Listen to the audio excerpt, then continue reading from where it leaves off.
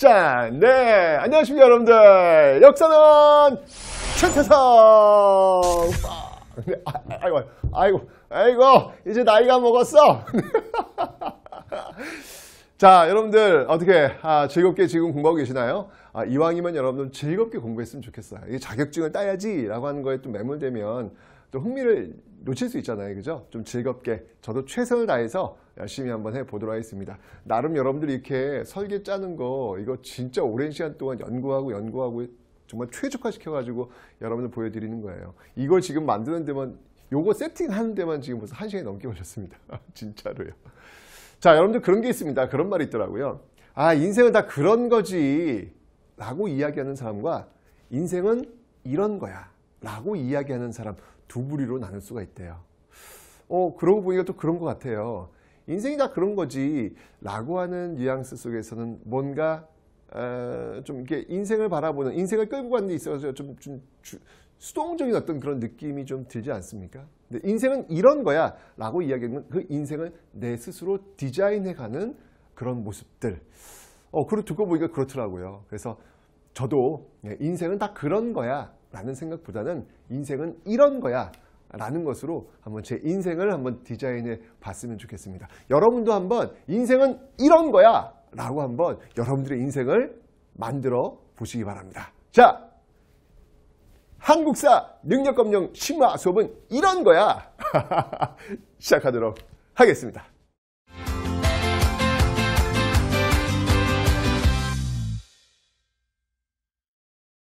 자, 이제 여러분들 우리가 남북국 시대를 배워봐야 되겠습니다. 아, 이 통일신라와 발해, 남국의 통일신라가 있고 북국의 발해가 있죠. 우리는 이 시대를 통틀어서 뭐라고 하냐면 우리는 이 시대를 바로 예, 남북국 시대다라고 이야기를 해요. 그런데 이 남북국 시대라고 하는 이 용어, 이 용어를 사용하게 된 계기가 있습니다. 자, 그 계기는 뭐였냐면 네, 바로 예, 조선 후기 실학자 유득공, 유득공의 발해고, 발해고라고 하는 역사서에서 이걸 이제 유득공에 의해서 쓰여진 겁니다. 이 남북국이라고 하는 용어가 사용되고 있다라는 것이죠. 그 말은 무슨 말이냐면 그 이전까지는 발해의 역사를 우리의 역사로 제대로 인식하지는 못했다는 거예요. 분명히 이제, 이제 나중에 배우시겠지만 어, 발해라고 하는 역사는 이제 우리 역사 속에 분명히 당당히 들어와 있는 역사임에도 불구하고 고려와 조선을 거치면서 이게 잊어버린 거죠. 지워져 버린 거죠. 희미해진 거죠. 네, 그러면서 어, 우리 역사 아닌가? 뭐 이런 이런 느낌이 온 거예요. 그거를 다시 원위치로 돌려놓은 게 바로 유득공의 발해고에서 남북국 시대 통일신라만 있었던 게 아니라 바로 고구려를 계승한 발해도 있었다라고 이야기를 하면서 이게 딱 재정립이 되는 거예요. 여러분 역사가 이렇게 무서운 거예요.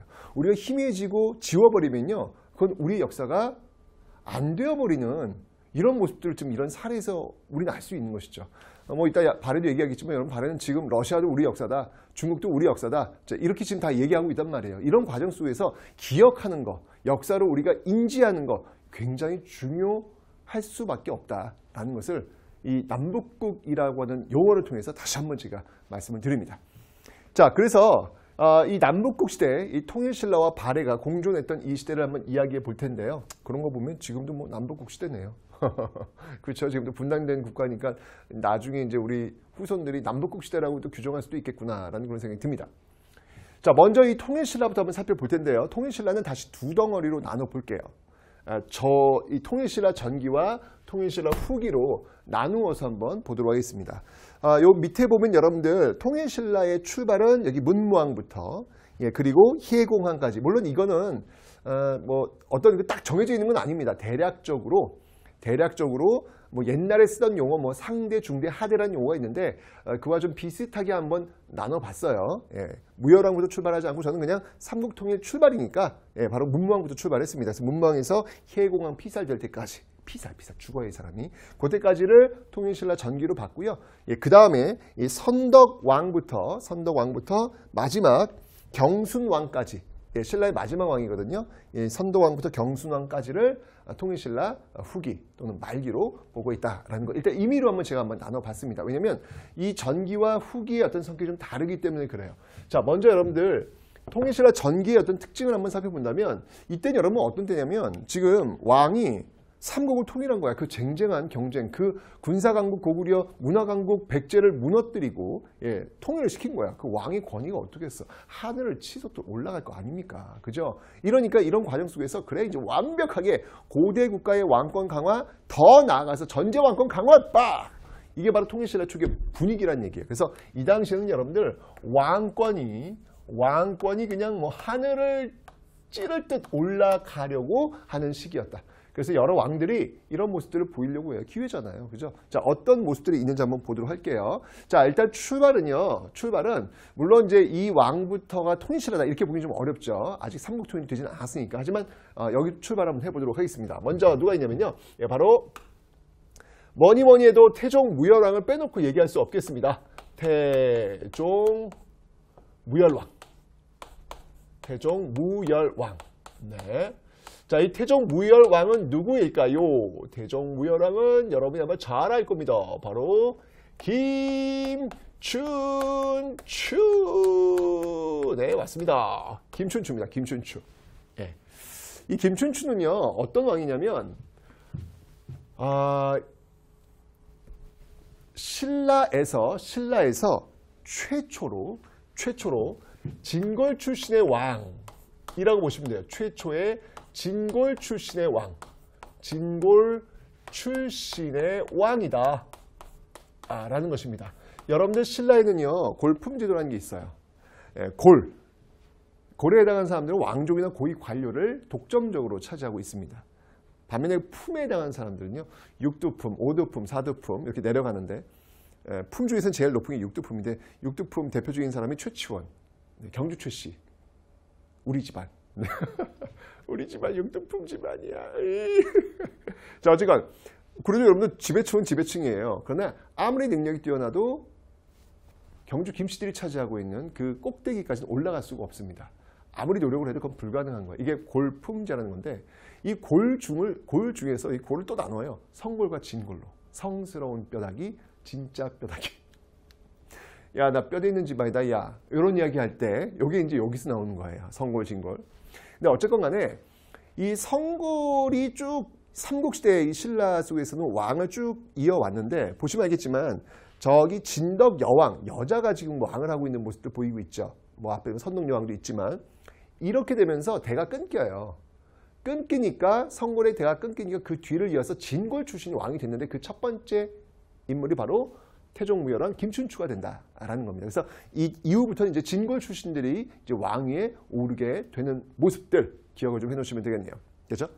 자, 그 다음에 여러분들 이 태종무열왕 김춘추가 한 일 많이 있죠. 일단 이 나당 연합을 이끌어내는데 아주 혁혁한 역할을 해야 됩니다. 나당 연합을 이끌어내는데 굉장히 중요한 역할을 해내고 있고요. 예, 그 결과 백제를 멸망시켰던 왕, 그 당사자가 바로 이 어, 김춘추 태종 무열 왕이 되겠습니다.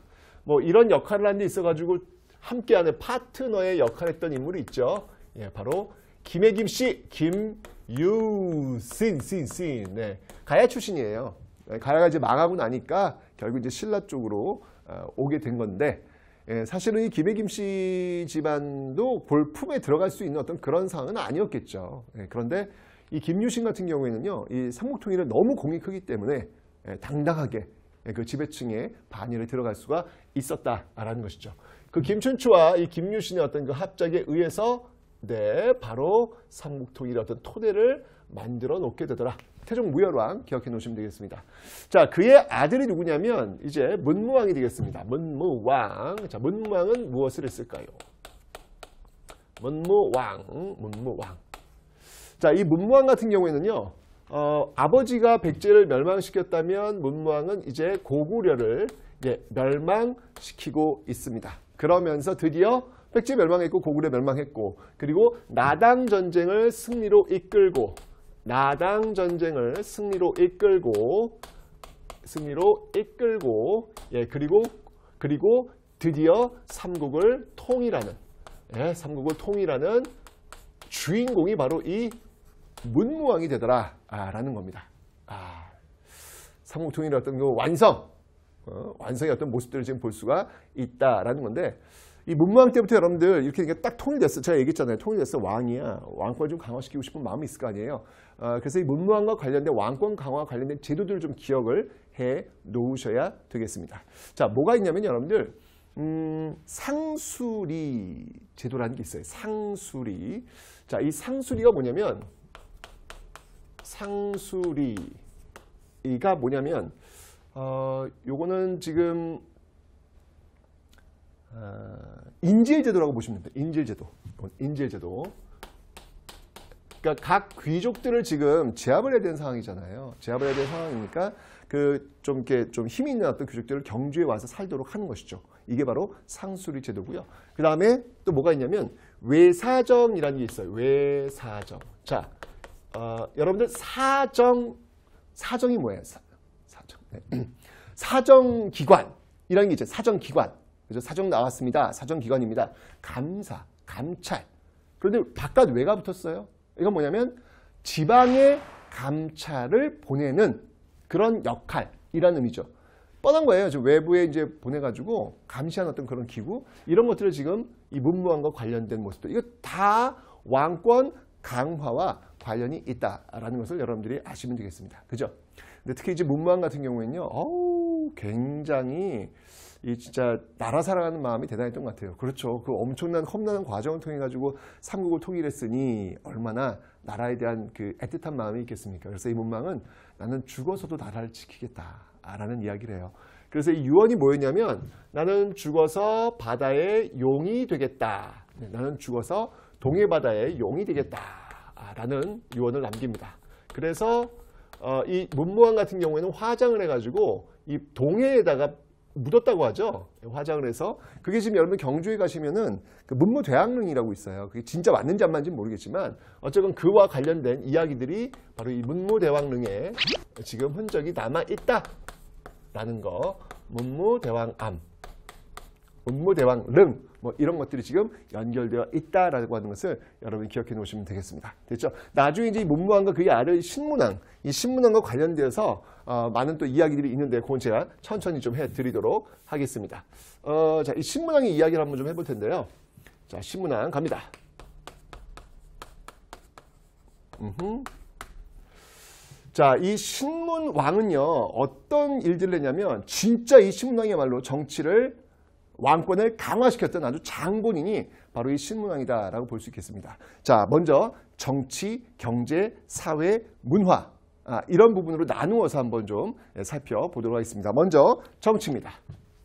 자, 이 신문왕이 어떤 측면에서 왕권을 강화했는지 한번 정치부터 한번 살펴보도록 하죠.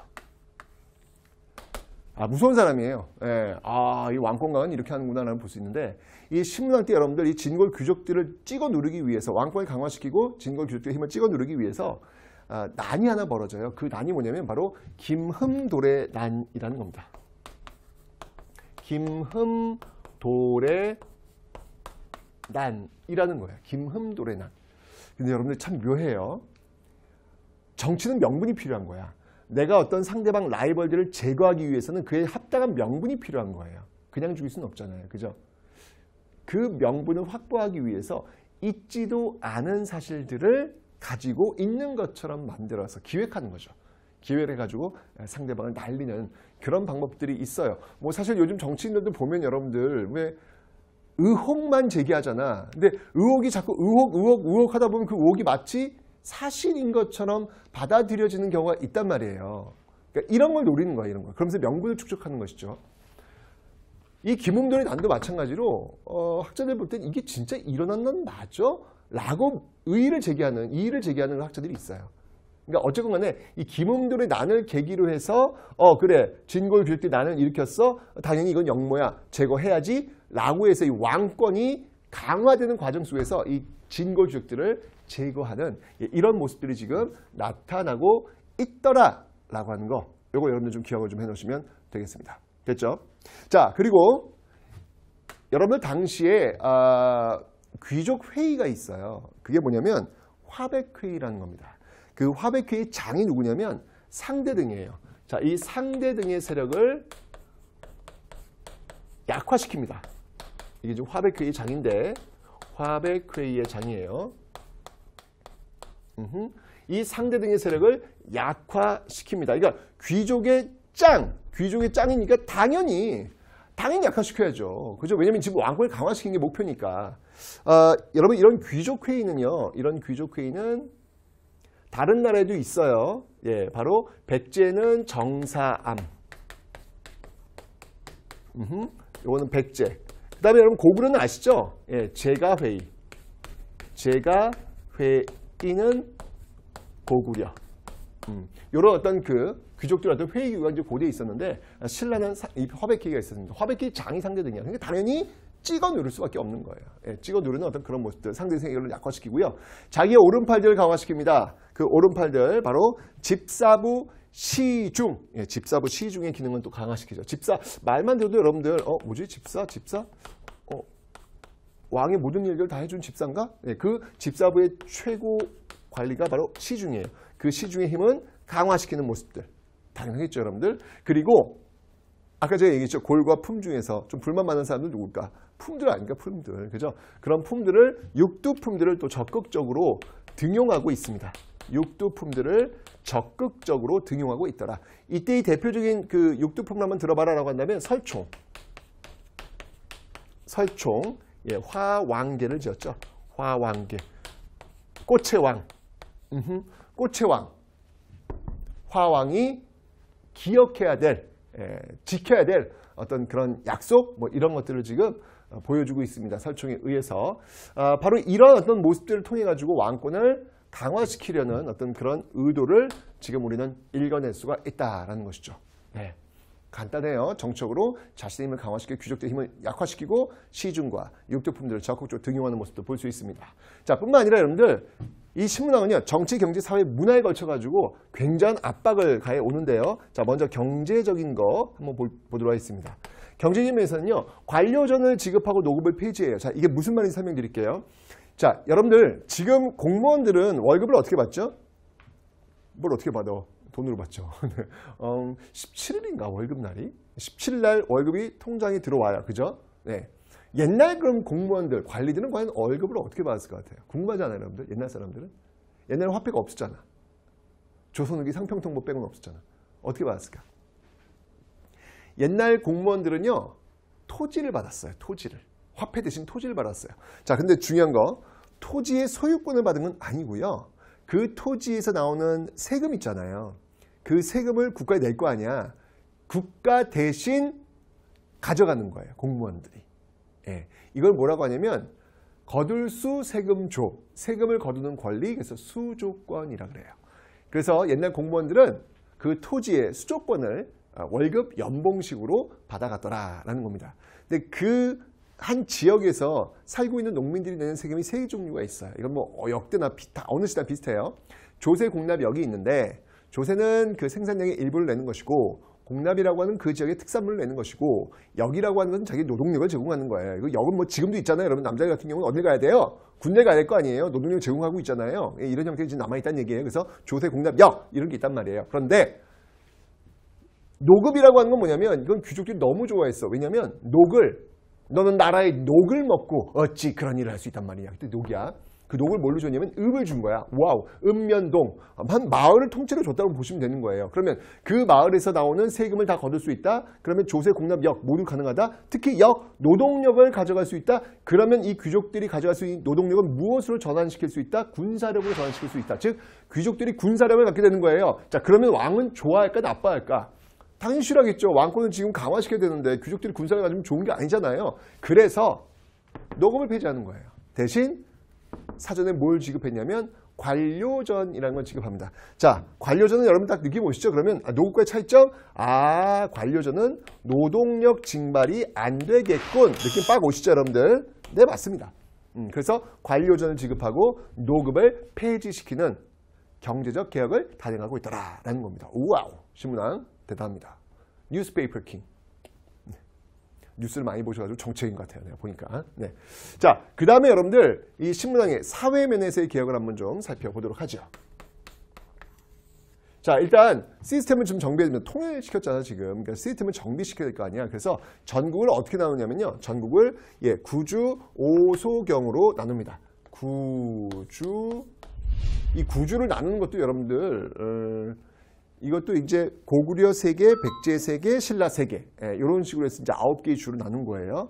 구주, 그 다음이 오소경. 음흠. 이 오소경이라고 하는 건 뭐냐면 어, 지도를 보시면 알겠지만 여러분들 이게 구주 오소경 지방행정조직 지도 나오고 이 지도에 나와 있는 지방행정조직을 활용했던 나라는 어떤 나라인가 그 나라의 특징으로 옳은 것은 이렇게 문제가 나와요. 그러니까 지도를 보고 이게 행정조직 보고 아 이거 통일신라야. 오도 양계가 나오면 아 이거 고려야. 오경 15부 62주 나오면 아 이거 발해야. 8도 나오면 아 이거 조선이야. 이렇게 아셔야 돼요 여러분들. 지방행정조직 지도 나오고 어떤 나라인지 아셔야 됩니다. 이 시험이 잘 나와요. 어쨌든 구주 오소경은 통일신라입니다. 자 그런데 이 오소경은 뭐냐면 말 그대로 지도 이렇게 보시면 옛날에 신라, 삼국시대 신라일 때는 수도가 경주였는데 별 문제가 없었어요. 근데 통일이 되고 나니까 수도가 지금 어떻게 돼 있어요? 너무 한쪽으로 치우쳐져 있잖아요. 그죠? 이러면 지방 그 통일시킨 이 뭐 고구려나 백제 영토를 다스리기가 좀 쉽지 않겠죠. 원만하지 않겠죠. 그래서 말 그대로 경주를 control C 그리고 control V 시킨 게 바로 다섯 개의 작은 경주다 라고 보시면 되는 거예요. 그래서 오소경이라고 하는 것은 이 오소경을 설치한 어떤 그 배경은 뭐냐면 네 바로 수도. 예, 이 수도가 너무 한쪽으로 치우쳐져 있는 수도의 편제성을 극복하기 위한 네, 그런 내용들이다 라는 걸 볼 수 있는데 아, 이 오소경 예를 한번 좀 들어볼게요. 자, 오소경에는 이제 뭐가 있냐면 오소경에는 뭐가 있냐면 뭐 여러 가지가 있는데 그 중에서 우리가 좀 기억할 어, 소경이 있다면 먼저 중원경이라는 게 있어요. 중원경. 중원경. 중원경은 지금 어디냐면 청주에 청주. 아, 충주에 충주. 가운데 중이니까 충주에 충주. 여러분들 이 충주하면 뭐가 있을까 여기에? 여기에 중 충주 고구려비 있잖아요, 여러분들. 그죠? 예. 그 장수왕의 그 남하 정책에 의해 서 쭉쭉 밀고 내려오면서 세웠던 비석 아니야, 충주. 그 다음에 여러분 또 뭐가 있냐면 남원경이라고 있어요, 남원경. 남쪽에 있는 것이죠. 여기는 지금 어디냐면 청주에 청주. 아, 서원경, 서원경. 죄송합니다. 서원경입니다. 서원경. 자, 서원경입니다. 서원경. 네. 서원경이라고 있습니다. 서쪽에 있는 건데 여기 어디냐면 청주에 청주. 이 서원경 청주와 관련된 곳이 있다면 여러분들 여기에서 뭐가 발견되냐면 굉장히 중요한 것들이 많이 발견돼요. 아, 먼저 민정문서. 민정문서라고 하는 것은 당시 세금을 얻을 수 있는 기초 자료라고 보시면 돼요. 여기 이제 민정문서 청주에서 어, 작성된 그 민정문서 발견되고 있고요. 그 다음에 여러분 또 이런 타이틀 붙여 현조라는 세계에서 가장 오래된 금속 활자본. 네, 이게 이제 만들어진 곳 청주입니다. 바로 직지 심체요절 고려시대죠, 여러분들. 고려시대. 음. 이런 것들이 바로 또 이 청주 서원과 서원경과 연결이 되고 있다라는 겁니다. 여러분 제가 앞에 설명드렸어요. 한 지역과 관련된 시대별 역사 사건들을 지금 정리할 필요가 있다고 설명드렸잖아요. 공주 같은 경우에는 뭐 공주의 어떤 그 구석기 유적부터 출발해가지고 뭐 우금치 전투까지 쭉 한번 정리해드렸잖아요. 마찬가지로 청주와 관련된 거 이렇게 오소경이 있었고 민정문서 그리고 직지심체 요절과 관련된 있는 지역 청주 이런 것들도 좀 기억을 좀 해놓으시라는 얘기예요. 아셨죠? 그래서 뭐 중원경, 서원경, 남원경 뭐 뭐 이런 어떤 그 다섯 개 어떤 그 작은 경주를 지금 만들어 놓고 있더라라는 거 받으시면 되겠습니다. 그리고 군사체제로 여러분들 구서당 십정이라는 것을 만들어 놓습니다. 자, 이 구서당이라고 하는 것은요, 중앙군이에요, 중앙군. 중앙군인데, 어우, 이 중앙군이야. 이건 나라 지키는 제일 중요한 부대 아니야. 그런데 여기에 놀랍게도 신라인들 뿐만 아니라 고구려인, 백제인, 심지어 말가린도 들어가 있어요. 이건 뭘 의미하는 걸까? 이제 통일됐으니까 뭐 고구려, 백제 이런 거 의미 없다. 바로 민족 융합. 바로 민족 융합 차원에서 민족 융합 차원에서 이런 구서당이 운영되고 있음을 알 수 있겠죠. 그리고 구서당 십정. 십정. 이거는 어디냐면 지방군이에요. 지방군. 근데 왜 십정이냐면 여러분들 전국이 지금 아홉 개 주잖아요. 그죠? 아홉 개 주로 나눴단 말이에요. 그러니까 한 주씩 하나의 정을 만들어 놓은 거예요. 그럼 원래 구정이 돼야 될 거 아니야. 근데 한 주가 너무 커요. 그러니까 거기에다가 한 정을 더 추가시킨 거야. 그러니까 거기 두 개가 되겠지. 그래서 합쳐서 10개가 된 겁니다. 그래서 구서당 10정의 그런 군사 시스템들을 또 정비하는 것이 바로 또 이 신문왕이다라는 거 진짜 많이 했어요, 여러분들. 그죠? 예. 정치, 경제, 사회.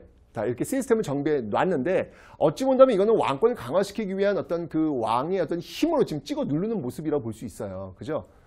그런데 이제 시몬이 무서운 사람이에요. 문화적인 차원에서도 문화적인 차원에서도 왕에게 충성할 수 있는 시스템을 만들어 놓습니다. 그게 뭐냐면 바로 국학이라는 거예요. 국학. 자, 이 국학은 뭐냐면 여러분들 자발적 복종. 크, 요 단어 요거 요거 상당히 무서운 단어죠, 여러분들. 아, 복종을 시키는 거야. 근데 힘으로 찍어 눌러서 복종을 시킬 수 있어. 그런데 그게 오래 못 가요. 다시 한번 튀어오를 수 있단 말이에요. 그런데 여러분들 자발적 복종을 시키면 저항을 할 이유가 없는 거죠. 저항을 못 하는 거예요. 예, 왜냐면 이건 내 스스로 해야 되는 거라고 이제 믿고 있기 때문에 그런 거죠.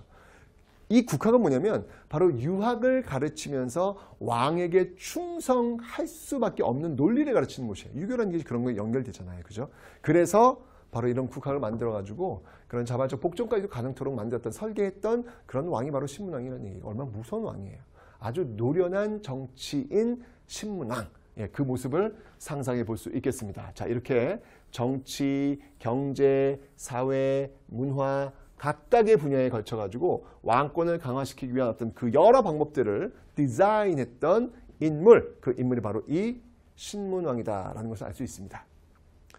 근데 이 신문왕의 어떤 문화적인 어떤 그런 또 연결고리가 또 뭐가 있냐면 신문왕과 관련된 사찰이 하나 있어요. 예, 그 사찰이 뭐냐면 예, 바로 가문사라는 사찰이 있습니다. 가문사.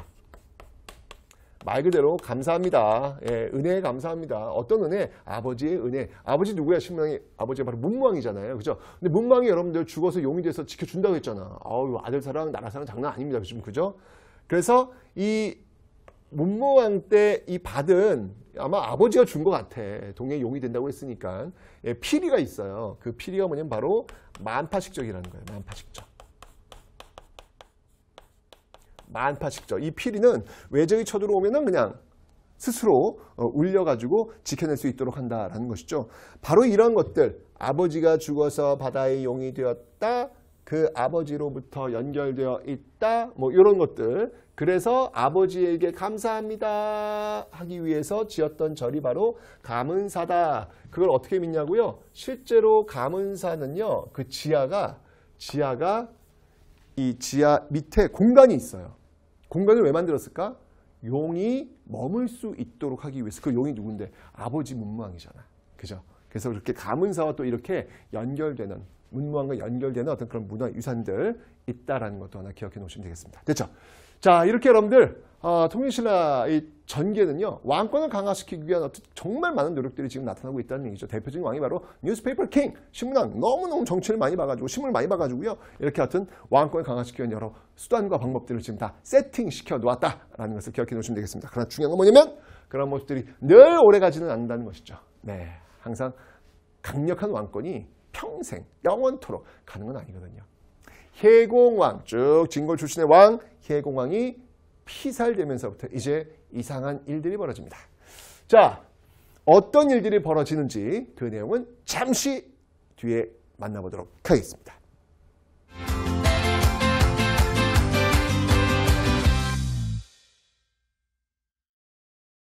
자, 이제 여러분들 완전히 바뀌었어요. 완전히 바뀌었어요. 이제 상황이 달라. 강력한 왕권? No. 이제는요.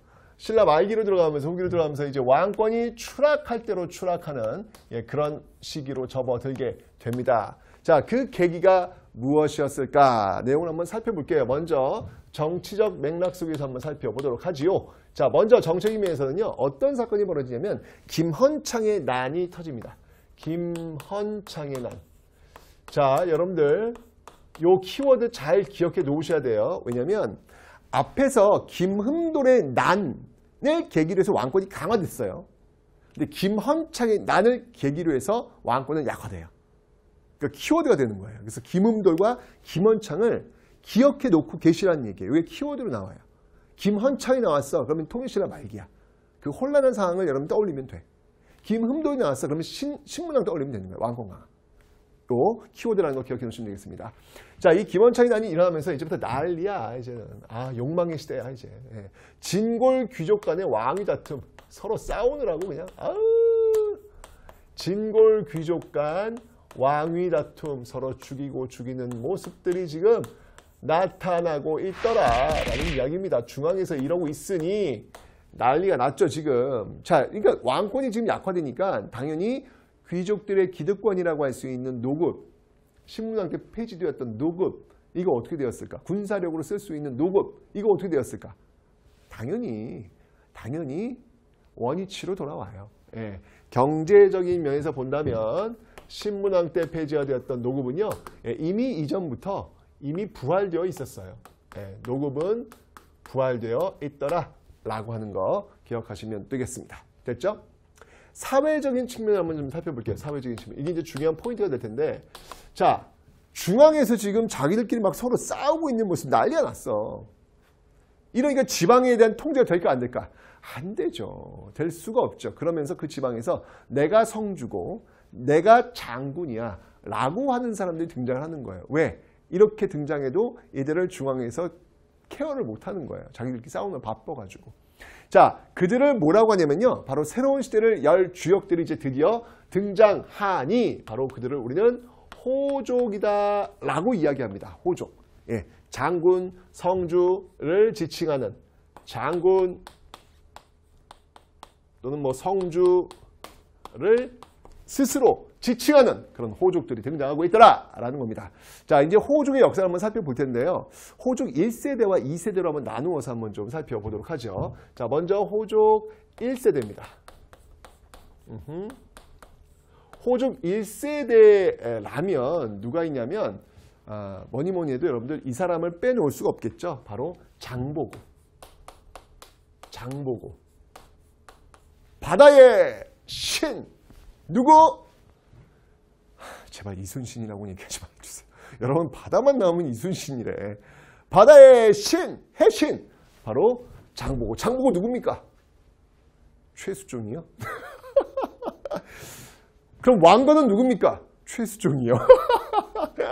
아, 이 최수종 이분께서 너무 많은 걸 하셔가지고 역사적인 혼란을 줍니다. 그죠? 자, 어쨌건 장보고, 해신. 저는 이제 장보고 이야기를 좀, 좀 해야 될 것 같아요. 이 장보고는요, 아, 이름도 없었고요. 어디서 태어난지도 모르는 사람이었어요. 아, 그러니까 쉽게 얘기하면 선생님 무슨 장보고 이름 나중에 나중에 성인이 되어서 자기가 스스로 지은 이름이에요. 예전에 이름도 없었어요. 그 말은 뭐냐면 통일신라 시대 때 완벽한 흑수저 출신이라는 이야기예요. 지금 지금 단어로 얘기한다면. 근데 이 흑수저 출신 이 장보고가요, 이 화를 졌었나 봐. 근데 이 당시에 흑수저로 살아가는 데 있어서 지켜야 될 원칙이 있습니다. 그 원칙이 뭐냐면 좀 가슴 아픈 원칙인데요. 꿈을 가져서는 안 돼요. 네, 꿈을 가져서는 안 돼요. 왜일까요, 여러분들? 제가 얘기했잖아요. 신라는 골품 제도라는 게 있다고요. 그 골과 품에 들어가지 않으면 어떠한 것도 이뤄낼 수가 없어요. 너무나도 견고한 유리벽. 뚫을래야 뚫을 수 없는. 에이, 선생님도 0.0001%의 가능성도 있지 않을까? 절대 없어요. 그런 것도 없어요. 그러니까 꿈을 가지면 그때부터 비극이 시작되는 거예요. 생각해 봐요. 내가 뭔가를 하고 싶은데 사회적 시스템에서 원천 봉쇄되어 있다. 얼마나 답답하고 힘들고 상처받겠습니까? 그런데 이 장복은 여러분들 놀랍게도 꿈을 갖게 됩니다. 비극이 시작된 것이죠. 그러니까 이 10대의 장보가 너무 고통스러웠던 거야. 활을 잘 쏘니까 자기도 이 활 쏴가지고 좀 장군지까지 한번 올라가고 싶었는데 불가능하거든요. 될 수가 없거든요. 아무리 활을 잘 쏴도. 그래서 아마 바닷가에서 태어났으니까 바닷가 어딘가에 나와서 많이 울었던 것 같아요. 그 우는 과정 속에서 장보는 결심을 합니다. 자신의 앞에 놓여 있는 그 푸른 바다를 건너자. 어차피 내가 이곳 육지에서 내 꿈을 이룰 수 없다면 이 푸른 바다를 건너자라고 결심해서 건너요. 여러분들 푸른 바다를 건넌다? 지금 여러분들 이 바다 건너에 뭐가 있을까? 바로 검색 들어갑니다. 그러면 뭐가 다 나와요. 그죠? 하지만 이 당시 그런 게 없잖아. 그 말은 곧 뭐냐면 푸른 바다를 건너겠다는 얘기 뭐냐면 그 앞에 무서움과 두려움과 공포가 심지어는 죽음마저도 그를 기다리고 있다는 얘기예요. 그런데 그는 꿈을 이루고 싶었던 거예요. 그 꿈을 이룰 수 없는 이곳에서 상처받고 삶을 사느니 내가 한번 그 무서움과 두려움과 공포, 심지어 죽음까지 기다리는 그 공간에 나를 한번 던져보겠다. 라고 해서 그 푸른 바다를 건너게 된 것이죠. 그 건너서 간 곳이 어디였냐면 바로 중국 당나라였습니다. 거기서 반란군을 진압하는 부대에 들어가서 초고속 승진을 해요. 왜? 활을 잘 쏘니까. 그죠? 그런 과정 속에서 장보고가 승진을 하다 보니까 이 바닷가에서 무역순이 왔다 갔다 하는 거야. 저 돈 좀 되니? 돈 된대요. 그래가지고 무역업자로 전환합니다. 군인에서 무역업자로 변신. 그래서 이 무역업을 하기 위해서 이 중국에 와 있는 신라인들을 모아요. 그 모아서 이 네트워크 기지를 하나 만드는데요. 그 기지가 뭐였냐면 바로 법화원이라는 곳입니다. 법화원. 법화원. 이 사찰에 예, 이 신라인들을 모은 거예요. 한 2, 300명이 모였다 그래요. 여기서는 그냥 이 저 부처님의 말씀을 논할 때도 신라어로 했다고 할 정도로 어, 엄청났죠.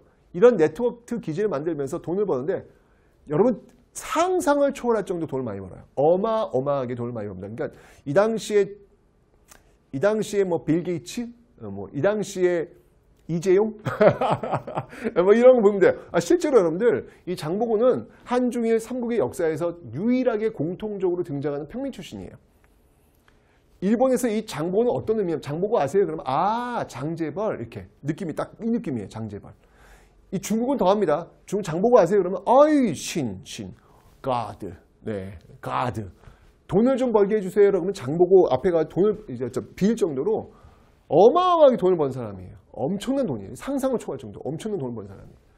이 장보고가 이렇게 있다가 어, 이 봤는데 이 신라인들이 해적들한테 끌려와가지고 노예시에 팔린 걸 본 거예요. 그래서 장보고가 신라로 귀국을 해서 왕을 만나죠. 와, 여러분 이게 엄청난 금유한양 아닙니까, 여러분들?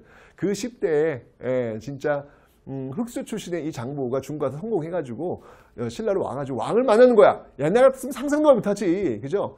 그래서 왕한테 얘기하죠. 내가 해적들과 소통할 테니까 나한테 어떤 기지 하나 만들어 다오. 라고 해서 형성된 기지가 바로 청해진 아닙니까? 청해진. 청해진. 바로 지금의 완도가 되겠죠. 완도. 그죠? 예. 아, 이런 장보고가 진짜 이 청해진 설치하고 나서 그 이후에 해적들이 분탕진을 했다는 기록이 없어요. 완벽하게 제압했다는 이야기죠. 그런데 이 장보고가 아, 여러분 이 청해진 대사로 임명되는데 사실 청해진 대사도 에, 실제로 존재하는 관직명이 아니에요. 그러니까 그 말은 무슨 말이냐면 아무리 돈을 벌고 엄청나게 성공을 했다 할지라도 골품에 들어올 수는 없었다는 이야기예요. 그게 한계라는 거예요.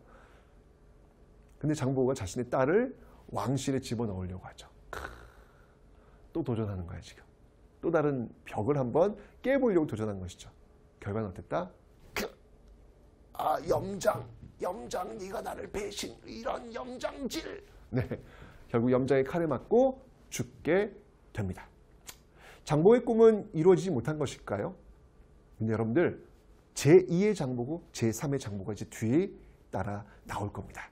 그렇기 때문에 장보고의 꿈은 그 당시에 이루어졌지, 이루어지지 못했지만 그 씨앗을 장보가 뿌렸다라고 볼 수 있겠죠. 어쨌건 그 장보고였습니다, 여러분들. 전지 장보고 보면서 그 역사를 공부할 때 여러분들 이런 어떤 팩트들 중요하지만 시험 볼 때 중요하지만 잊지 말아야 할 건 뭐냐면 이런 사람을 통해서 우리가 배워야 될 것. 첫 번째는 뭐냐면 장보고는요, 그 푸른 바다를 건넜다는 거예요. 푸른 바다는 어떻게 보면 여러분들 상징적 단어일 수 있습니다. 여러분 앞에도 모두 푸른 바다가 놓여져 있습니다. 그 푸른 바다 앞에서 여러분들은 어떤 모습으로 서 있는지 한번 돌아보시기 바랍니다. 두 번째, 장보고는요 절대 누군가 비교하지 않았어요. 왜 나는 경주 출신이 아니야? 왜 나는 골품에 들어가지 못했어? 왜 나는 부모님이 있다위야? 이런 이야기 하지 않았어요. 오로지 자기가 제일 잘하는 거, 활쏘기. 이 활쏘기 하나 갖고 자신의 삶을 디자인해 나갔던 사람. 이런 것들은 우리가 좀 역사를 공부하면서 놓치지 말아야 될 그런 지점들이 아닐까라는 생각이 듭니다. 바로 이 호조 1세대 장보고 이야기였습니다. 자, 그 뒤를 이어서 이제 2세대들이 이제 장보고 뒤를 잇는 2세대가 등장을 하게 됩니다. 자, 누가 있을까요? 자, 갑니다. 자, 먼저 견훤. 견훤. 견훤이 있습니다. 견훤. 자, 이 견훤은요. 어, 도읍을 어디에 이 견훤은 이제 후백제를 세우죠. 후백제. 후백제를 세우고요. 도읍을 어디로 정할까요? 완산주, 완산주, 완산주로 정합니다. 완산주로 정합니다. 어우, 진짜 여러분들 이 견훤이요. 사실 초반에는요. 후백제가 후삼국 통일한 줄 알았어요. 아, 이 시대를 우리 이제 후삼국 시대라고 하는 건데 그만큼 힘셌어요. 그래서 여러분들 중국에 심지어는 후 후당 중국 후당이라든지 또는 5월에 사신까지 파괴될 정도로 어우 이거면 뭐 시스템 갖춰 있다는 얘기잖아요. 하나의 나라 꼴을 지금 갖추고 있다는 이야기 아닙니까? 그죠? 이런 어떤 그 사례가 있을 정도로 아주 잘 나간 어떤 그런 모습들, 초기 견훤의 모습들이었습니다. 그리고 이 견훤의 라이벌이라고 할 수 있는 사람이 있죠. 예, 바로 궁예가 있습니다. 궁예. 자, 이 궁예는요, 어, 후고구려를 세우고 있습니다. 후고구려를 어디에? 송악에 예, 세웠지요. 그러다가 이제 나중에 이제 또, 아, 마진, 마진 또 이름을 바꿔요. 또는 태봉. 그래서 마진, 태봉. 여기에 수도는 또 이 철원. 요즘 DMZ 있죠, DMZ 여러분들. 그죠? 예. 어우, 놀랍게도 여러분들 그 DMZ 가시면 군사 분계선 있잖아요. 그 군사 분계선이 정확히 이 철원, 이 태봉 그 궁예 도성 있잖아요. 궁예 도성을 정확하게 반을 가르고 나가고 있어요. 와. 이러니까 여기가 발굴을 못해요. 예, 군사 분계에서 정확히 지나가고 있기 때문에 아, 나중에 이제 이 평화가 오면 가장 먼저 이 발굴이 들어가야 될 곳이 바로 이 철원에 있는 이 후고구려 이 태봉 어, 여기가 아닐까라는 그런 생각이 듭니다. 아, 이 궁에는요, 바로 이제 요 시점 속에서, 어, 진짜 이게 정말 시스템이나 이런 것들을 제대로 갖추는데 그 사례가 뭐냐면 그 사례가 지금 광평성. 이거 최고 권력기구예요. 뭐 고, 고려의 도병마사 뭐 이런 어떤 그 모델이 되는 이런 모습들을 지금 만들어내어서 아주 완벽한 시스템을 갖추는 선진적인 어떤 그 모습들을 갖추고 있다. 아, 지금 후삼국들 지금 장난이 아닙니다, 지금. 그죠? 그런데 알겠지만 최종적 승자는 누구였다? 견훤과 궁예가 아니라 바로 왕건이었습니다. 왕건. 네. 왕건은 바로 이제 고려를 세우게 되지요. 어디에? 예, 개성. 개성. 송악입니다. 같이 송악이라고 봅시다. 네. 개성, 송악에다가 이 왕건은 고려를 건국하게 됩니다. 자, 그런데 여러분 제가 그 과정을 좀 설명을 좀 드려야 될 것 같아요. 어, 결국은 최종적으로는 견훤과 궁예를 흡수시킨 게 이제 왕건인데 원래 이제 왕건은 궁예 밑에 있었잖아요. 근데 이제 궁예가 이제 마진 그 다음에 이제 그 이, 다 이듬해 이제 철원으로 이제 옮겨가면서 그때부터 약간 이제 이제 이 에, 궁예 좀 달라져요. 네, 그런 거 있죠, 여러분들. 관심법. 나는 미륵이다. 나는 너희 마음을한다. 어, 넌 지금 영모를 꾸몄구나. 넌 죽어. 뭐 이런 거 모습 보이면서 결국 궁예가 축출되고 왕건이 뒤를 잇게 되잖아요. 그죠? 근데 여러분 이 승자 역사는 승자의 역사, 승자의 기록이잖아요. 실제로 그랬을까라는 것도 한번 우리가 좀 고민해 봐야 됩니다. 네. 쿠데타를 통해서 좀 명분 없는 어, 이런 어떤 모습을 보인 게 왕건 아닙니까? 그래서 그 명분 없는 자신의 모습을 가리기 위해서 바로 그 궁예를 폭군 형식으로 규정 지을 수도 있는 거예요. 그죠? 어쨌건 간에. 자, 이 왕건이 그 뒤를 이어서 쭉 가게 되는데, 이제 싸움은 견훤과 왕건의 대결이 되는 겁니다. 자, 그 과정을 제가 한번 좀 설명을 좀 드려보도록 하겠습니다. 어떻게 해서, 어떻게 해서 이 왕건은 결국은, 결국은 후삼국을 통일하게 되었을까? 후삼국을 통일하게 되었을까? 그 과정을 한번 좀 살펴보도록 하겠습니다. 자, 그 과정을 보면 여러분들, 자, 어떤 그 중요한 전투들이 있어요. 자, 어떤 전투가 있냐면 첫 번째 전투는 뭐였냐면요. 바로 고창 전투라는 겁니다. 아니요. 공산 전투라는 겁니다. 공산 전투. 자, 이 공산 전투 뭐냐면 팔공산. 대군의 대구. 공산. 아, 이 공산 전투는 누구랑 누구랑 싸운 거냐면 바로 견훤과 왕건이 붙은 거예요. 누가 이겼을 것 같아요, 여러분들? 아, 견훤이 세다니까, 여러분들. 견훤이 이겨요. 압도적으로 이고 심지어는 왕건이 죽음 일보 직전까지 갑니다. 그런데 그때 이 왕건의 충신, 신순겸, 신순겸이 왕건에게 이야기하죠. 왕건의 옷을 저에게 주십시오. 제가 왕건인 것처럼 하고 싸워서 시간을 벌 테니 도망가십시오. 라고 해서 결국 왕건은 피할 수가 있었습니다. 신승경은 이때 죽죠, 여러분들. 예. 어, 그래서 정말 정말 기사회생한 거예요. 만약에 여기서 왕건이 죽었으면 고려는 존재하지 않았을 거예요. 후백제가 아마 이 후삼국을 통일하지 않았을까라는 생각이 듭니다. 자, 이에 대한 복수!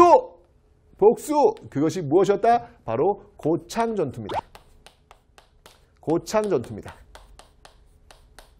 자, 이 고창 전투 역시 견훤대 견훤대 왕건의 대결. 네, 여기서 드디어 왕건이 승리하게 됩니다. 이 고창이 어디냐면요. 예, 전라도 고창이 아니고요. 여기는 안동이에요, 안동. 네. 그래서 바로 이런 고창 전투 이런 걸 재현하기 위해서 예, 했던 놀이가 바로 차전 놀이.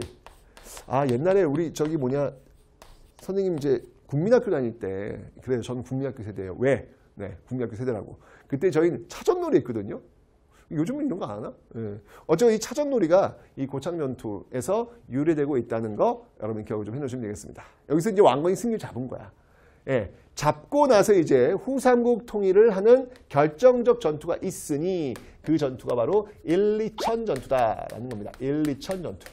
자, 이 1, 2천 전투는요. 누구랑 누구랑 붙은 걸까요? 신검과 왕건이 붙었습니다. 그런데 놀랍게도 여기에 견훤이 또 붙어 있습니다. 어? 이게 무슨 소리야? 아니 형님이 왜 거기에 이런 거잖아 지금. 아니 견훤이 왜 왕건 쪽에 있죠? 아, 이 어떤 일이 있었냐면 이 왕건이 이제 승기를 이렇게 잡게 되면 고창전투로 승리 잡게 된 이후에 이 후백제가 이제 분열을 하는 거예요. 그러니까 이 견훤이 자기의 그 첫째 아들 이 신검이거든요. 신검을 왕위에 앉히지 않고 그 밑에 있는 아들을 왕위에 앉히려고 하는 거예요. 그러니까 신검이 열받아 가지고 이 견훤을 어떻게 하냐면 하, 이거 어떻게 이, 이럴 수가 있지? 이 견훤을 금산사에 유폐를 시켜요. 가둬버리는 거야. 금산사에 가둬버리는 거예요. 아버지를. 아버지를. 야 아버지를. 결국 이 견훤이 금산사에서 도망쳐가지고 어디로 갔다? 왕관한테 가고 왕한테 부탁을 하죠. 내가 후백제를 치러 갈 수 있도록 도와달라. 아, 어, 너무, 너무 가슴이 아플 것 같아. 자기가 그렇게 애써서 세운 그 후백제를 스스로 무너뜨리기 위해서 가는 그 모습. 아, 견훤은 인생을 어떻게 생각했을까? 아, 라는 생각이 듭니다. 그죠? 정말 잘 나갔는데, 견훤. 그죠? 근데 스스로가 직접 그 후백제를 무너뜨리는 그 앞장에 서게 됩니다. 결국은 신검이 무너지고 후백제가 멸망하면서 예, 결국은 삼국통일, 후삼국통일. 뭐 경순왕이야 뭐 그냥 이 저 왕건한테 그냥 갖다 바쳤잖아요. 그죠? 예, 갖다 바치면서 예, 경순왕이 어, 또 이렇게 갖다 바치면서 예, 이렇게 왕건에게 나라를 그냥 줘버리죠. 네. 이 과정 속에서 어떻게 이럴 수 있습니까? 있을 수 없습니다. 아버님 이건 아닙니다. 싸우지도 않고 어떻게 그냥 나를 그냥 갖다 들이받칩니까? 저는 동의 못합니다. 라고 해서 어, 말을 입고 예, 말을 입고 예, 전국을 다녔다는 경순왕의 아들 마의태자 마의태자 이야기도 또 전개되고 있죠. 아이고 한나라 망하는 데 있어서 참 여러 가지 이야기들이 이렇게 등장을 하고 있네요. 네, 좋습니다. 이러면서 결국 최종적 주인공은 바로 왕건에 의해서 이루어지고 있더라라는 겁니다. 여러분들 이 왕건에 의해서 이 후삼국이 통일되는 것은요 굉장히 중요한 의미를 갖고 있어요. 첫 번째 뭐냐면 진정한 삼국의 통일이라고 볼 수도 있고요. 왜냐하면 그 이전까지는 고구려 영토를 잃어버린 땅 잃어버린 상황 속에서 통일이니까 삼국의 통일이 맞느냐라는 논란의 소지가 있는데 예, 여기서 이제 진짜 진정한 후삼국의 어떤 그 통일이 이루어졌다라고 볼 수 있고 두 번째는 뭐냐면 바로 이제 여러분들 이제까지 골품제도였던 폐해석 신분제도 네, 이런 것들과는 다른 이제는 경주 김씨들만 모든 걸 독점하는 게 아니라 이렇게 왕씨도 있고 경주 김씨도 있고 경주 최씨도 있고 여러 성씨들이 자신의 뜻을 펼칠 수 있고 실력에 의해서 고위직에 올라갈 수 있는 길이 열리는 장보고처럼 그 꿈을 꿀 수 없는 그런 사회가 아니라 그 꿈을 펼 수 있는 그 여지가 조금은 상대적으로 열리는 그 모습으로 가고 있다는 얘기예요. 그래서 여러분들 이 왕건이 열었던 이 고려는 고대라고 하지 않고 중세라고 이야기하는 겁니다. 왜? 인간의 자유의 확장이 조금 더 넓어졌기 때문에 역사가 진보했기 때문에 이야기할 수 있는 것이죠. 됐죠? 자 이렇게 해서 왕건에 의해서 이제 이루어질 건데 일단 지금 이거 우린 지금 통일시절 말기잖아요. 난리가 난 거예요. 지금 호족들이 지금 막 서로 서로 왕이 되겠다고 지금 하고 있는 모습들 보이고 있고요. 지금 그런 상황입니다. 자 이러니까 아 사회가 어떻겠어요. 특히 백성들의 삶은 어떻겠습니까? 예, 이 지금 지방에서 이 호족들이 지금 이렇게 득세하고 있는 상황 속에서 백성들의 삶은 당연히 안 좋아질 수밖에 없겠죠. 예, 민, 이 민의 삶은 추락할 수밖에 없다. 그러면서 여러분들 이제 들고 일어났던 난이 바로 원종과 에노의 난. 이건 이제 진성 여왕 때, 진성 여왕 때 있었던 예, 그런 내용들이 되겠습니다. 이렇게 이제 무너진 어떤 모습을 보이고 있는 거예요. 네. 천년의 역사가 이렇게 지금 정리가 되고 있는 겁니다. 예, 마지막 참 이렇게 마무리를 잘해야 되는데 항상 그 왕조의 끝은 마무리가 잘 안 돼요. 자, 그리고 여러분들 문화적인 측면을 좀 하나 살펴보도록 하겠습니다. 문화적인 측면. 자, 이 문화적인 측면에서 여러분들 뭐가 있냐면요. 선종이 굉장히 유행을 해요. 선종이 굉장히 유행을 하고 있습니다. 그래서 뭐 구산선문 아홉 개의 아홉 개 유명한 산에 이 선종을 어떤 그런 사찰들 예, 이런 게 등장한다는 얘기예요. 이게 뭐냐면 여러분들 불교 종파에는 교종과 선종이 있어요. 교종은 뭐냐면 말 그대로 교리 글자를 읽어가지고 부처님의 말씀을 깨닫는 거예요. 근데 여러분들 글자를 아무나 읽냐고요. 예, 아무나 못 읽죠. 그러면 부처님의 말씀을 깨달으려면 아무나 하는 게 아니네. 글자를 읽을 수 있는 특권층들만 하는 거네. 그죠? 교종은 이래요. 근데 선종은 뭐냐면 글자를 통해서 부처님의 뜻을 아는 게 아니라 참선을 통해서 부처님의 뜻을 깨닫는 거예요. 참선을 통해서. 이건 뭐냐면 누구나 다 부처가 될 수 있다는 얘기죠. 누구나 다 부처가 될 수 있다는 말은 누구나 다 왕이 될 수 있다는 말. 신라 시대는 누구나 왕이 될 수가 없어요. 골품에 의해서 이미 정해져 있단 말이에요. 그런데 그 골품에 의해서 시스템이 지금 세팅되어 있는 시스템을 깰 수 있는 논리가 바로 누구나 부처가 될 수 있다. 누구나 왕이 될 수 있다는 얘기죠. 누가 좋아하겠습니까, 여러분들? 호족들이 좋아할 수밖에 없는 거예요. 호족들이 폭발적으로 왜? 내가 왕이 될 수 있는 논리를 제공하고 있으니까. 또 있어요. 뭐가 있냐면 풍수지리가 있습니다. 아, 결정적이죠, 여러분들. 풍수지리. 풍수지리. 이제 경주의 기는 쇠했다. 경주의 기는 쇠했다. 내가 있는 이 지역에서 왕의 기운이 뿜어나고 있다. 내가 왕이 되는 이유야. 선종과 함께 풍수리도 역시 호족들의 폭발적인 인기를 끌게 되면서 이 호족들은 바로 이런 선종과 풍수지를 빡빡 밀어주게 되는 것이죠. 네, 이게 바로 신라 말기의 모습이에요. 예, 항상 이런 거 보면서 아 인생 참 잘 마무리해야 되겠구나. 예. 왜냐면 여러분 신라 역사가 천년이에요. 그 엄청난 역사가 이렇게 이런 모습들 때문에 무너지고 있는 모습 참 안타깝다라는 생각이 듭니다. 한 사람의 인생도 마찬가지가 아닐까요? 여러분들 뭐 60, 70, 80 인생을 디자인하면서 살아가겠지만 맨 마지막 마무리를 잘 못하면서 이제까지 힘들게 만들어 왔던 그 모든 시간들을 허물어뜨리는 그런 우를 범할 수도 있구나라는 거 이 신라 천년의 역사에서 여러분들 좀 한번 배워보시면 어떨까라는 생각이 듭니다. 마무리 잘합시다.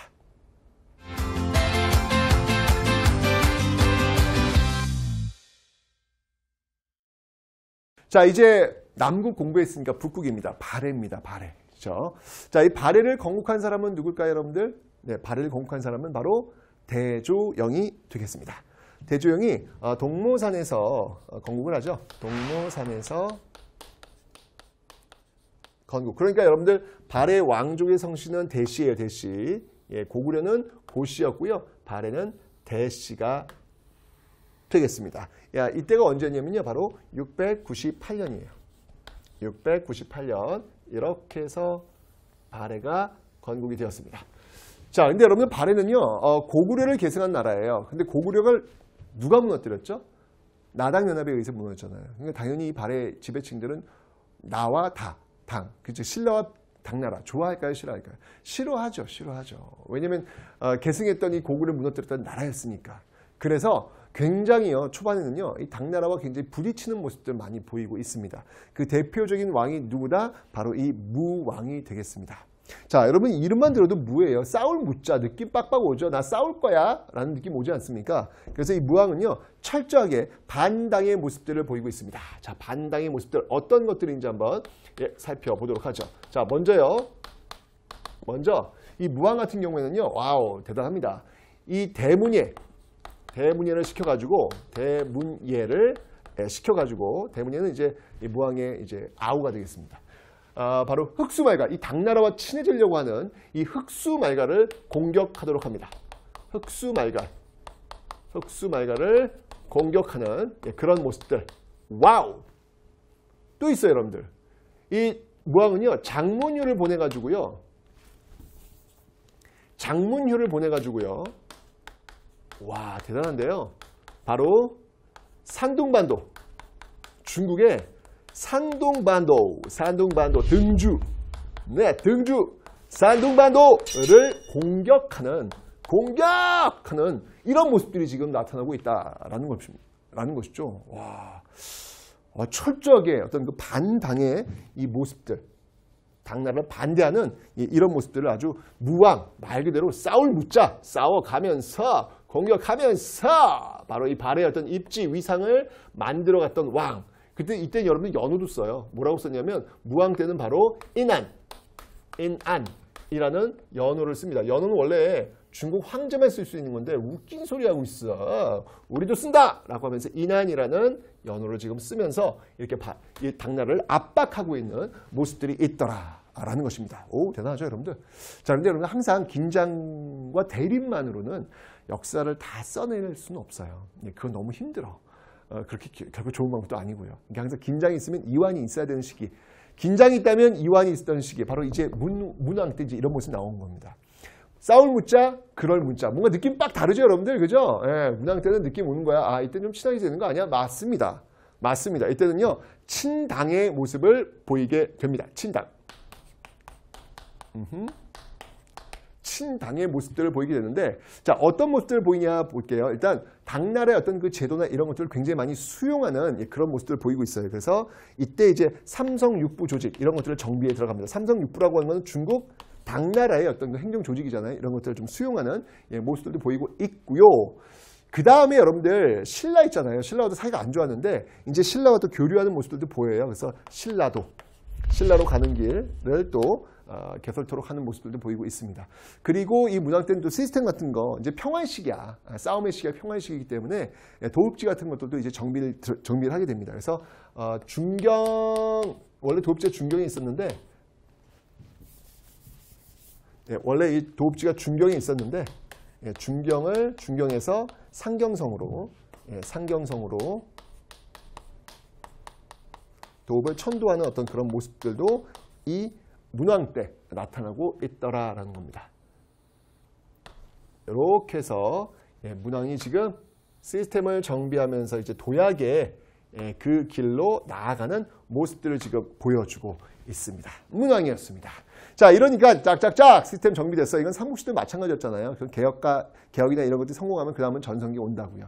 그 전성기의 왕이 바로 이 선왕이다라고 할 수 있겠습니다. 이 선왕 때가 되면요, wow, wow, 영토를 어마어마하게 넓혀요. 그래서 이때 행정구역들을 이제 정비가 되는데요. 5경 15부 62주. 오, 야, 이 엄청난 넓은 그런 곳이구나라는 걸 알 수 있고요. 이때가 되면 이제 요동, 요동을 거의 다 보구려가 차지하고 있었던 이 요동을 거의 다 수복했다라고 어, 이야기 되어지고 있습니다. 이게 선왕 때 보여지는 거예요. 이게 너무 잘 나가는 거야. 그래서 이걸 이 시대를 뭐라고 불렀냐면 바로 해동성국이다. 이 이후를 해동성국이다. 아, 이렇게 부를 정도로 아, 정말 선왕 이후에 아주 잘 나가는 아주 잘 나가는 네, 그 발해의 모습들이 지금 나타나고 있었다라는 것을 기억해 두시면 되겠습니다. 자, 이게 바로 서당 때의 모습이었습니다. 빵! 자, 근데 이렇게 잘 나갔던 이 발해. 근데 발해가 와라라르르 무너집니다. 그래서 926년에 결국은 이제 무너지게 되는데, 어, 이 무너질 때 이 누의 침략에 의해서 무너지는 바로 거란족이에요, 거란족. 거란족. 거란족이 쳐들어오는데 너무 빨리 무너진다? 이렇게 잘 나갔던 이 발해가 이 거대한 제국이 너무 빨리 무너진다? 그 이유가 뭘까? 물론 거란족이 세기도 했지만 아마도 그 요 시대 요 주변 시대에 있었던 그 백두산 아까 제가 상경이 실질적인 발의 수도라 그랬잖아요. 이 상경의 발, 백두산에 가까이 있는데 백두산 폭발이 바로 이 사회 혼란을 가져온 게 아니었을까. 그 사회 혼란 과정 속에서 거란족 침입 과정 속에서 결국 빠르게 무너진 게 아닐까. 뭐 이런 학자들의 추측도 있습니다. 이 백두산이 여러분 천년 주기로 터진다고 하잖아요. 이번에 터질 때가 됐어요. 네, 그러니까 어, 역사 속에서 한 나라의 운명을 좌지우지 할 수 있었던 자연적 환경 백두산. 그렇다면 천년 지간 지난 지금 우리도 한번 이 백두산의 어떤 그 활동에 대해서는 좀 눈여겨볼 필요가 있지 않을까라는 그런 생각이 듭니다. 자, 이게 이제 발해의 어떤 그 흥망성쇠의 어떤 모습들이었다라는 걸 기억하시면 되고요. 중요한 건 뭐냐면 이 발해가 고구려를 계승했다는 거예요. 이게 포인트야. 이게 포인트, 이게 제일 중요한 거예요. 그러니까 어떤 면에서 그런 발해, 발해가 고구려를 계승했냐는 거예요. 이거 중요한 거예요. 왜냐면 아까 제가 설명드렸잖아요. 중국도 발해는 자기의 땅이라고 얘기하고요. 자기 역사라고 얘기하고요. 러시아도 발해는 자기 역사라고 얘기하고 있습니다. 왜냐면 영토가 지금 다 겹, 겹쳐 있으니까. 자, 이런 상황 속에서 우리가 지금 발해가 우리 역사라고 이야기하는데 그 근거가 있냐는 거예요. 있어요. 아주 결정적 근거가 있어요. 뭐냐면 발해 문 왕이 참 문왕 정말 많은 일 하셨어요. 이 왕이 발해의 왕이 일본 왕에게 국서를 보내요. 예, 일본 왕이 국서를 보냈는데 편지를 보냈단 말이야. 보냈는데 거기에 뭐라고 썼냐면 아주 명백하게 나는 고려의 왕이다라고 씁니다. 나는 고려의 왕이다. 나는 고구려 왕이다. 옛날에 고구려를 고려 또는 구려 이렇게 불렀거든요. 내가 고려 왕이다. 더 이상 무슨 말이 필요해? 고구려 내가 계승했대잖아 지금. 그죠? 게임 끝난 거예요. 예. 그래서 이렇게 명백한 근거가 있다는 거 기억해 두시면 되고요. 그리고 아, 지배층이요. 지배층이 이 지배층의 대다수가 이 고구려인들로 예, 구성되어 있다. 고구려인들로 예, 구성되어 있다라고 하는 거. 이런 것들이 또 이제 하나의 그 이유가 되겠습니다. 그리고 이제 문화적인 어떤 생활 습관적인 면에서도 봐도요. 이들은요 온도를 사용했고요. 온돌이라고 하는 건 이런 고구려의 난방 방식이거든요. 어, 중국인들은 여러분들 의자에 앉는 방식이잖아요. 우리는 땅바닥 뜨뜻한 땅바닥이 엉덩이가 되는 방식이잖아요. 온돌, 이 고구려의 난방 방식인데 이거 바로 그대로 계승하고 있어요. 어떤 그 사회 문화, 삶의 모습은 그렇게 쉽게 바뀌는 게 아니거든요. 예, 온돌도 있고요. 그 다음에 뭐, 어, 뭐, 이불병좌상이라든지, 이불병좌상, 이런 것들은 이제 사진 통해서 확인할 수가 있습니다. 예, 두 명의 부처님이 서로 앉아 있는 모습들. 그 다음에 뭐 돌사자상, 돌사자상. 아, 이 가슴 빡 튀어나온 거 보세요. 빵빵하죠? 아주 그냥 단단한 모습들. 그리고 석등, 석등도 규모나 이런 것들이 거대하죠. 이런 어떤 그 분위기들이 지금 다 고구려의 어떤 문화와 상당히 유사하다는 거예요. 예. 그래서 어떤 그 고구려의 어떤 당당함, 어떤 이런 것들과 지금 분위기 맥락이 같기 때문에 이런 문화적 분위기 속에서도 발해는 고구려를 계승했다라고 볼 수 있습니다. 자, 그런데 모든 것들이 다 고구려를 계승한 건 아니고요. 당연히 당나라의 영향도 받습니다. 당의 영향도 받습니다. 자, 당의 영향을 받은 것이 무엇인지 한번 좀 살펴보도록 할게요. 자, 우선 여러분들 아까 제가 문항 때 왜 삼성 육부라고 하는 조직들을 수용하였다라고 설명드렸죠? 자, 삼성 한번 보도록 하겠습니다. 삼성. 자, 삼성은요. 아, 정당성, 중대성, 선조성으로 구성되어 있습니다. 정당성, 정당성의 최고 책임자. 어, 지금으로 얘기한다면 총리가 되겠습니다. 이게 대내상이에요. 대내상. 대내상.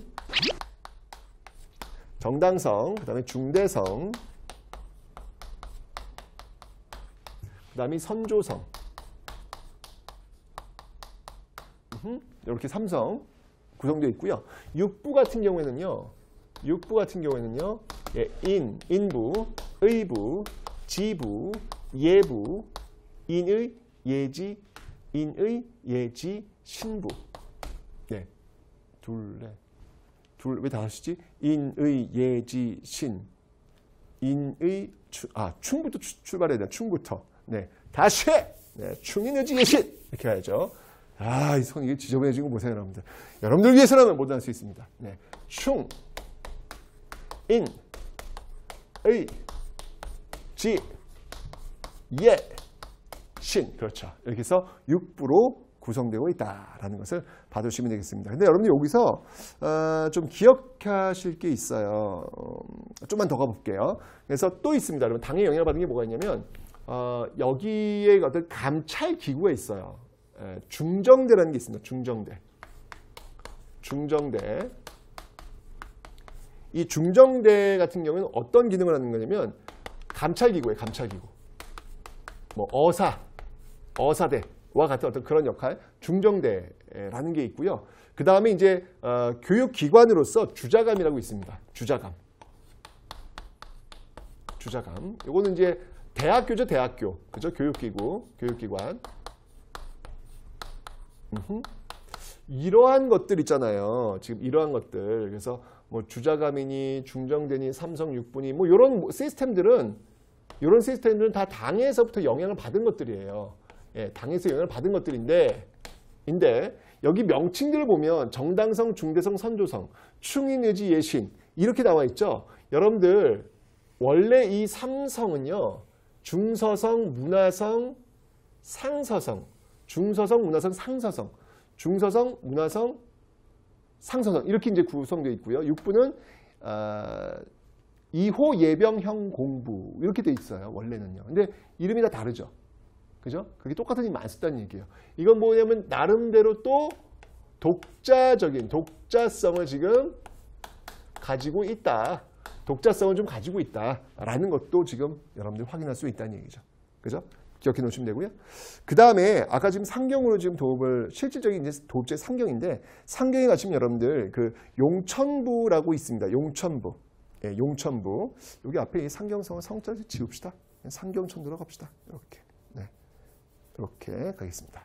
그래서 상경 용천부에 가시면 여러분들 주작대로가 있어요. 이게 뭐냐면 이게 지금 당나라 그 장안성에 영향을 받은 것인데 이건 지금도 있어요, 여러분들. 왜 그 우리 광화문 앞에 가시면은 광화문 앞에 가시면은 왜 세종로가 쫙 직선으로 좀 뻗쳐 있죠. 이거예요, 이거. 당나라 장안성이 이제 이렇게 나와 있거든요. 이거 주작대로라 그래요. 그런데 상경 용천부에도 이 주작대로의 모습이 남아 있다라고 하는 사실. 이런 것들은 이제 당의 영향을 받았다라고 볼 수 있겠죠. 됐죠? 자, 이렇게 해서 통일신라와 함께 존재했던 발해 이 발해까지 합쳐서 남북국 시대를 한번 살펴봤습니다. 아, 지금 오늘 강의를 통해서 여러분들 천년의 역사, 신라의 역사 한번 살펴봤는데 마무리 참 잘해야 되겠구나라는 거 봤고요. 장보고를 통해서 푸른 바다를 건널 수 있는 용기 그리고 누군가 비교하지 않고 자신이 제일 잘하는 거 하나 갖고 자신의 인생을 만들어가는 모습들 이런 것들이 바로 오늘 강의에서 여러분들에게 꼭 이야기해주고 싶었던 메시지가 아닐까라는 생각이 듭니다. 여러분들 푸른 바다를 한번 건너 봅시다.